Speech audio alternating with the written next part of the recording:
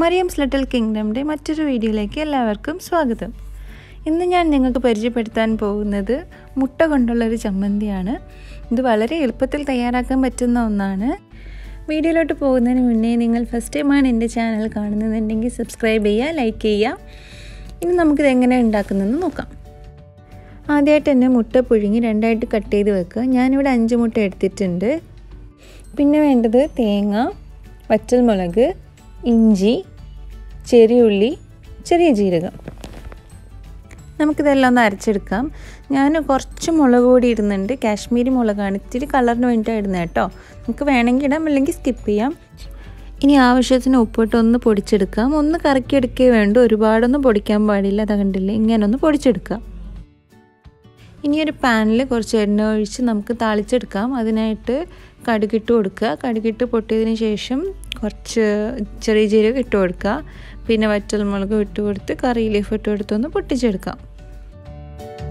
ഇനി അതിലോട്ട് നമ്മൾ പൊടിച്ച് വെച്ചിരിക്കുന്ന തേങ്ങ ഇട്ട് കൊടുക്കുക. തേങ്ങ ഇട്ട് കൊടുത്ത് ഒന്ന് വറുത്തെടുക്കുക.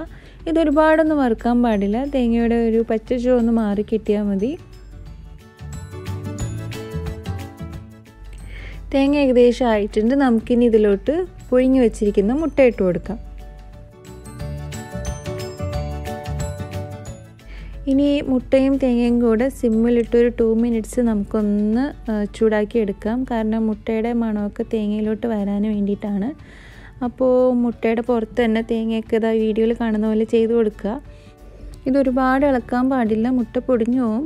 തേങ്ങേനെ കൊണ്ട് ജസ്റ്റ് മുട്ടയിൽ ഒന്ന് പൊതിഞ്ഞു കൊടുത്താൽ മാത്രം മതി.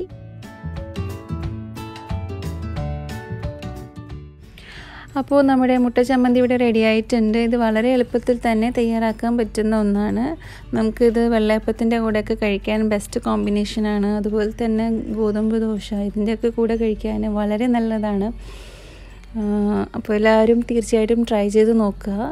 നിങ്ങൾക്ക് ഇഷ്ടപ്പെട്ടെന്ന് കരുതുന്നു. ഇഷ്ടപ്പെട്ടാൽ ലൈക്ക് ചെയ്യുക ഷെയർ ചെയ്യുക കമന്റ് ചെയ്യുക. അപ്പോൾ നമുക്ക് മറ്റൊരു വീഡിയോയിൽ കാണാം. അതുവരെ എല്ലാവരും take care and bye bye